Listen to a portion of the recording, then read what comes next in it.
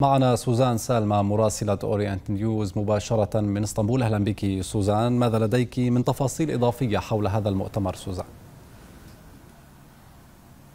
أهلا وسهلا بك وسام وبالسادة المشاهدين. المؤتمر عقد في مدينة إسطنبول تحت شعار حتى تحرير آخر امرأة وطفل معتقل في سوريا بمشاركة 45 ناشط حقوقي من مختلف دول العالم وبمشاركة أكثر أو ما يزيد عن 2000 منظمة مجتمع مدني أيضا حول العالم. اللافت في المؤتمر هو مشاركة شخصيات حقوقية ولها تاريخ في النضال من أجل نيل الحرية واستعرضت تجارب شعوبها في هذا الصدد. حفيد نيلسون مانديلا مانديلا مانديلا ألقى كلمة ووجه رسالة أيضا إلى الشعب السوري وطالب رأس النظام بإطلاق سراح كافة المعتقلين السوريين.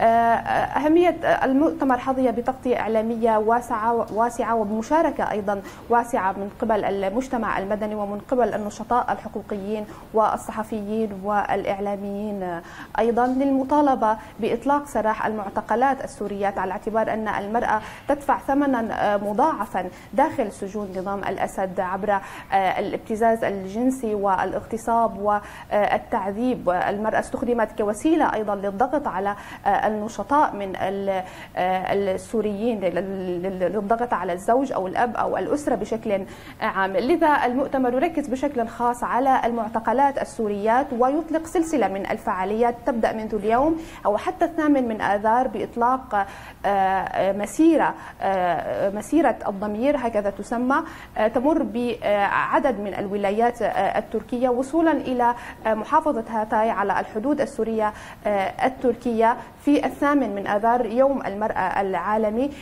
من أجل لفت الأنظار نعم. من أجل إيقاظ الضمير العالمي لمأساة المرأة السورية وما تتعرض له من انتهاكات مستمرة في ظل صمت دولي مريع على هذه الانتهاكات.